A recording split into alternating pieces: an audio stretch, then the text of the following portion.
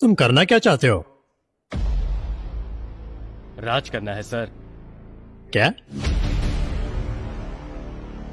दुनिया पर राज करना चाहता हूँ सर। वो इंसान बहुत ही मेहनती है आत्मविश्वास से भरपूर है और हिम्मत वाला है। वो इंसान है मिस्टर ऋषि कुमार।